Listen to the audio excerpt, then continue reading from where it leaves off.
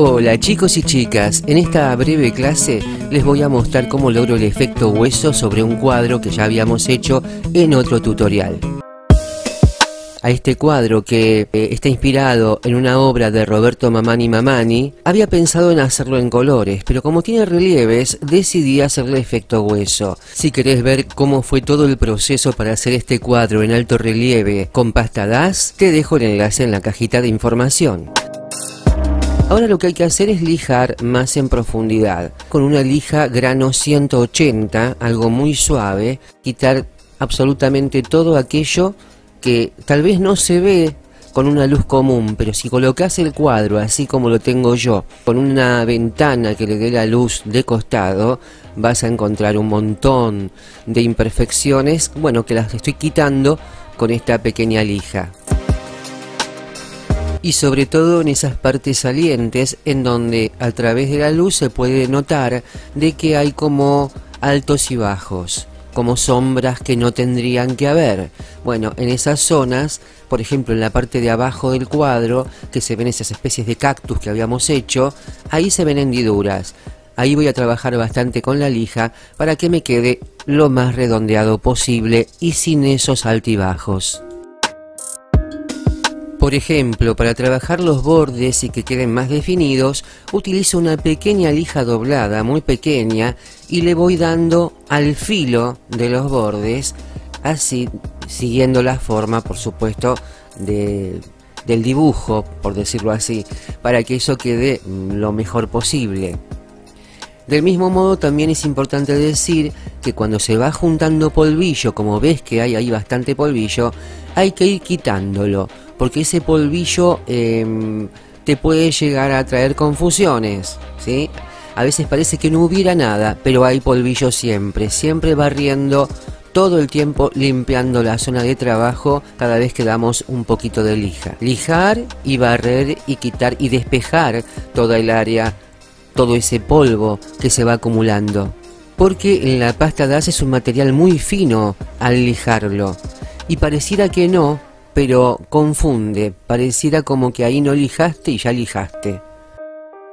Y aquí estoy dándole una imprimación con acrílico decorativo blanco antiguo, mezclado con un chorrito de cola de carpintero para que se selle bien el trabajo, porque la pasta DAS es porosa es un material poroso. Así que sello bien el trabajo, puede ser un blanco antiguo o directamente blanco cálido, que es el color que en definitiva luego voy a utilizar como base para este trabajo. En este momento no lo tenía, así que utilicé lo que tenía a mano, blanco antiguo. Me quedaba demasiado claro para mi gusto, por eso después cambié ya para pintar el cuadro, ya para terminarlo, con blanco cálido. La pintura que corra bastante. Tiene que correr, no tienen que quedar marcas. Para este tipo de trabajo soy muy amiga del blanco, a mí me encanta así como está, pero le voy a hacer el efecto hueso. Y después si no me gusta, lo cambio, ningún problema. Aparte te quiero mostrar cómo se hace. El área de trabajo tiene que estar perfectamente limpia, nada de polvillo ni por aquí ni por allá. ¿Eh? pasarle bien un pincelito al cuadro, sacar todo, incluso un trapito levemente húmedo también, para quitar todo resto de polvillo que pueda perjudicar nuestro trabajo.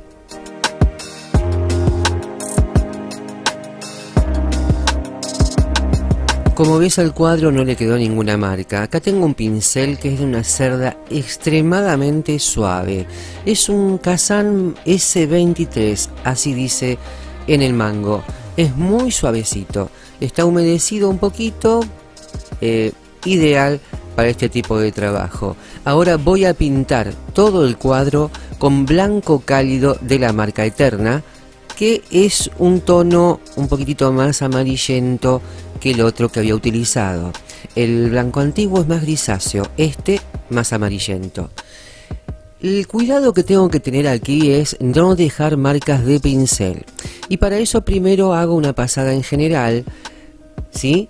Y con la pintura aún fresca, eh, cuando ya siento que tengo todo cubierto ese sector, voy trabajando por tramos, como ves, voy estirando bien la pintura y cuando ya la tengo acomodadita ahí el pincel es como que apenas aletea arriba de la superficie con mucha suavidad. De esa manera no te queda ninguna marca. Este pincel no suele dejar marcas, pero te digo, si aún lo querés mucho más suave en la terminación, apenas apoyamos el pincel a lo último, damos una repasada en diferentes direcciones y no, no nos queda ni una sola eh, marca de pincel. Tener mucho cuidado en las hendiduras, eh, en todos lo que son los relieves, los costados de los relieves, que no quede pintura amontonada. Por eso la pintura tiene que correr. Si no corre, le ponemos un poquito de agua. Porque cuanto más gruesa es la pintura, nos va a tapar todos esos hermosos relieves que hemos hecho. Por eso aquí conviene ir despacito. Vamos cubriendo, que quede todo, digamos, sin marcas, dejamos secar y si es necesario pasamos una segunda mano, pero livianas, no la pintura que se empaste. A esta altura te preguntarás, ¿por qué no un esponjado? Sí, también puede ser un esponjado muy suave, con una esponjita muy suave, ir dando golpecitos, ir estirando, pero te confieso que yo soy muy amiga del pincel. Aparte a mí me sucede que con la esponja no llego bien a fondo en algunas zonas. El pincel me permite todo eso. Y aparte este pincel suave, no sabéis lo que es, es divino.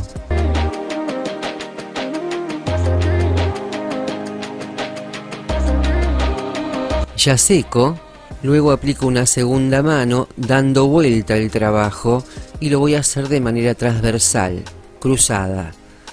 De la misma manera. Luego constato la suavidad del pincel, fíjate lo que es. Perfecto.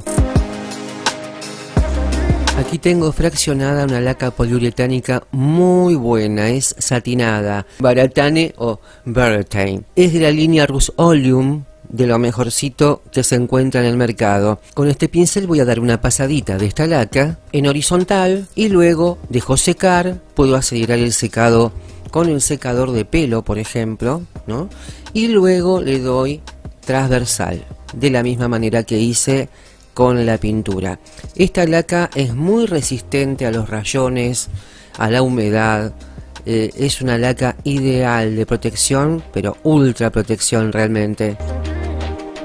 Como es tan, tan, este, tan suave esta laca, yo lo pongo así el cuadro, que la luz me dé de costado y poder ver por dónde voy y por donde ya pasé, porque si yo paso, repaso el pincel a cada rato, se me termina pelmazando.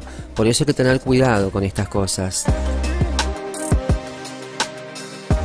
Aquí tengo preparado con cera natural, cera para pisos, natural en pasta, betún de Judea, 50 y 50.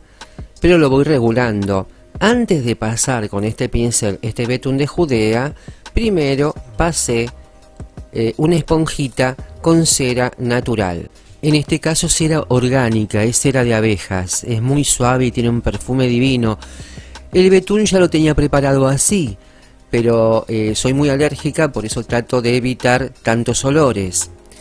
Si quiero retirar este betún aún más, eso va en gustos, lo puedes tener más oscuro, menos oscuro, ves que ahí aclaró bastante. Bueno, porque le pasé cera, o sea, una esponja embebida en cera limpia.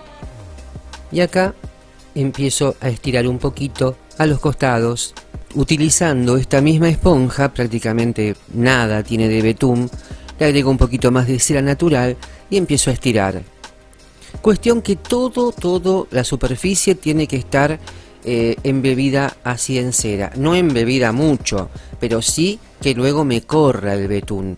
Porque ¿qué sucede? Si yo no coloco cera, me van a quedar manchones. Si bien este es un efecto hueso, si queda algún manchoncito no pasa nada, porque justamente ese es el efecto que se le quiere dar.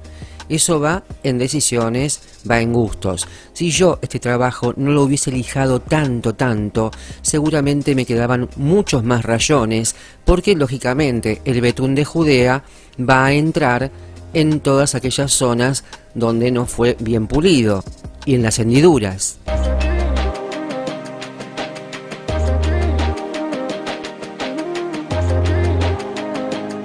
Al betún de Judea para ablandarlo un poquito le pasé un secador caliente. Puede ser también que lo hagas en baño María. Tiene que correr el pincel. Y aplico en todas las partes de los bordes, las hendiduras, las partes de los relieves también le aplico bastante, porque eso luego todo se retira con una esponja eh, embebida en cera. Y ahí vas regulando. Eso depende de cada uno, qué cantidad le querés poner, qué efecto le querés dar. Yo en principio a todos los bordes, como ves, y los relieves.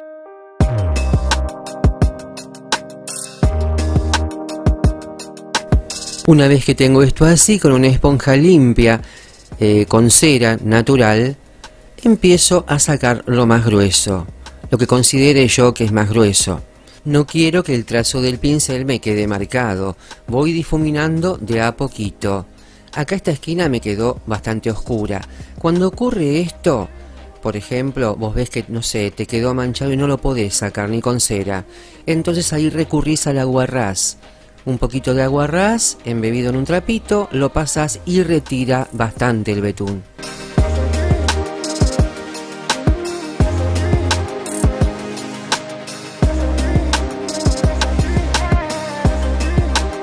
A ese betún de Judea que me quedó en la paleta, le agregué más cera natural para pisos para hacerlo bastante más claro, porque estaba muy fuerte. Y con una esponja voy a empezar a hacer toquecitos, así como de sombras, que los voy a difuminar muy bien.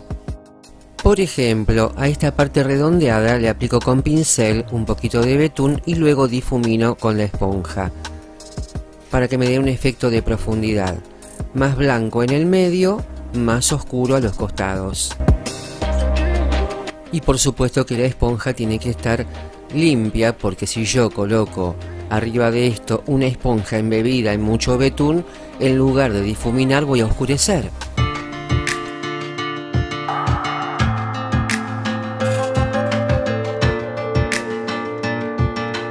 Y esto lo podés ir jugando como vos quieras, más oscuro, más claro.